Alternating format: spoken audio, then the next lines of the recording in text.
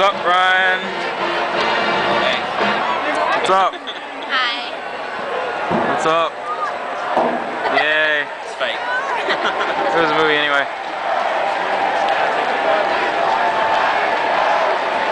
This sucks.